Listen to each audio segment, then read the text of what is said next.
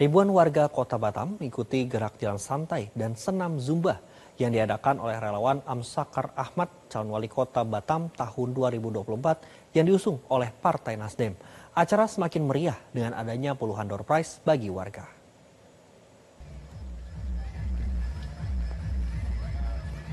Meskipun sempat diguyur hujan pada minggu pagi, ribuan warga dari Sekupang dan Tanjung Riau antusias untuk mengikuti gerak jalan santai yang diadakan di kawasan Rimland, Tanjung Riau, Kota Batam. Hadir dalam kegiatan tersebut Ketua Dewan Pimpinan Daerah atau DPD Partai Nasdem Kota Batam yang sekaligus sebagai calon wali kota Batam Amsakar Ahmad. Menurut Amsakar, olahraga membuat badan akan menjadi sehat serta pikiran juga jernih sehingga kontestasi pemilu 2024 mendatang bisa terlaksana dengan aman dan juga damai.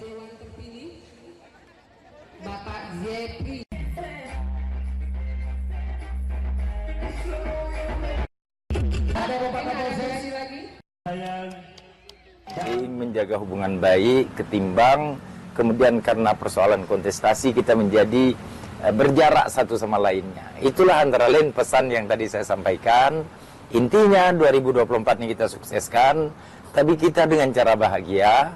Kemudian yang juga tidak kalah pentingnya sehat, sehingga pemikiran kita rasional. Yang berikutnya agar di antara anak bangsa jangan terbelah-belah karena kontestasi. Jelajahi cara baru mendapatkan informasi. Download Metro TV Extend sekarang.